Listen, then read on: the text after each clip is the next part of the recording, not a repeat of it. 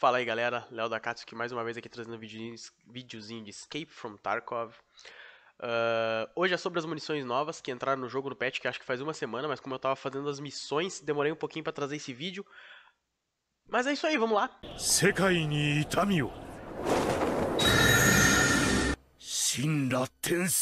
Começando pela .366 AP.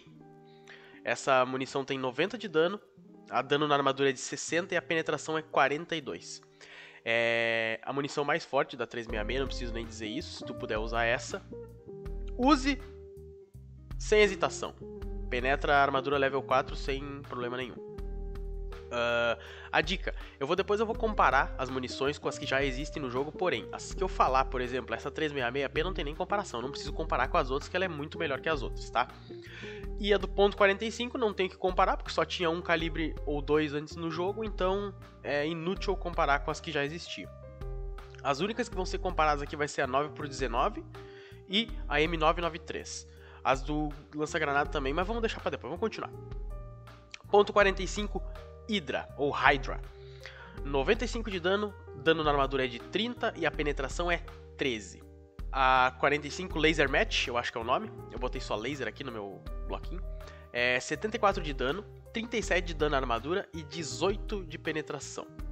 E essa a ponto .45 AP, que é a melhor, 70 de dano, 43 de dano na armadura e penetração de 36. Essa munição vai ser especialmente boa quando a Vector vir pro jogo, vir pro jogo que eu acho que vai ser no, no próximo patch ou no 12.9, que é uma, uma metralhadora automática .45.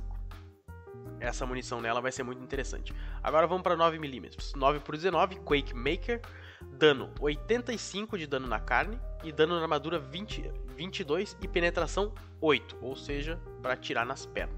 9 por 19, 7N31, 52 de dano na carne, 55 de dano na armadura e 39 de penetração.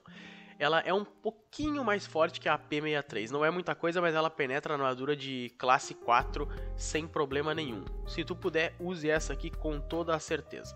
M993, 67 de dano na carne, 85 de dano na armadura e 70 de penetração. Se eu não me engano, ela tem só o dano na carne menor que a M61. Elas são um pouco equivalentes, mas essa aqui é melhor ainda. Porém, ela é bem mais cara. Mas se puder usar, pode usar. É 762 por 51, tá? Agora vamos para as do lança-granada, que são todas iguais, basicamente. 40 por 46, M381HE, 199 de dano na carne, 95 de dano na armadura e 1 de penetração. Todas as munições do lança-granada são assim. Elas têm 95 de dano na carne. Não, 199 de dano na carne, 95 de dano na armadura e 1 de penetração. Todas, sem exceção. A única que é diferente, entre aspas, é a Buckshot, que é um tiro de 12. Mas, mesmo dano, tá? O negócio é que é o seguinte. Tem umas delas que elas têm uma distância mínima para explodir. Ou seja, se tu atirar muito perto, por exemplo, tu atirar no chão para tentar se matar, tu não vai conseguir se matar com nenhuma delas. Já tentei. Se tu atirar uh, muito pertinho, uh, onde não deu um tempo para ele se armar, ela não explode, tá?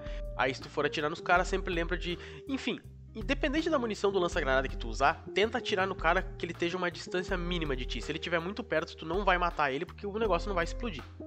Então tenta atirar numa distância pelo menos mínima, para tu ter certeza que vai explodir, independente da munição. Porque elas todas são iguais no dano e penetração. Agora vamos comparar aqui a 9x19 Quake Maker com a RIP e a Lugger. Na verdade não vou comparar com a Lugger, porque a Quake Maker é melhor que a Lugger, sem dúvida nenhuma. Com a RIP, enquanto a Quake Maker tem 85 de dano na carne, a RIP tem 102 e o poder de penetração da Quake é 8 e da Rip é 2. E o dano na armadura da Quake Maker é 22, enquanto da Rip é 11. Então, meio que vale mais a pena usar a Quake Maker caso tu acerte a armadura do cara, que dá um daninho a mais. Mas se tu for só pras pernas, usa a Rip, que ela dá 102, é o dobro de dano.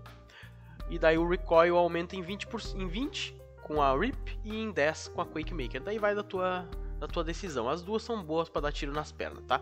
Agora vamos comparar 9 por 19 uh, 7N31 com a AP63. Vamos ver aqui. 7N31 tem 52 de dano na carne e a AP63 também.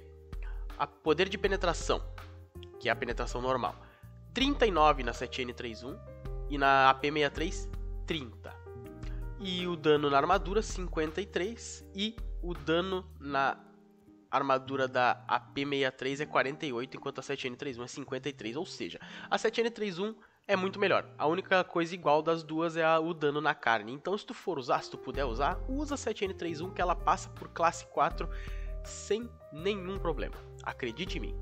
Eu vou fazer uma mini comparação aqui, tá? Só pra não dizer que, ó, passou da 366 aí, ó. A melhor munição que tinha antes da 366 era a Echo, que ela tem 73 de dano na carne 30 de penetração e 40 de dano na armadura.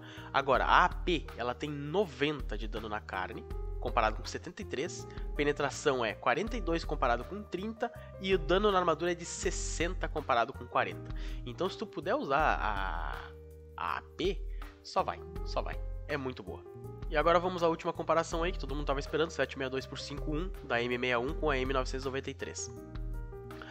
Ah, o dano na armadura da M61 é. Não, o dano normal da M61 na carne é 70, enquanto a M993 é 67. Diferença de 3.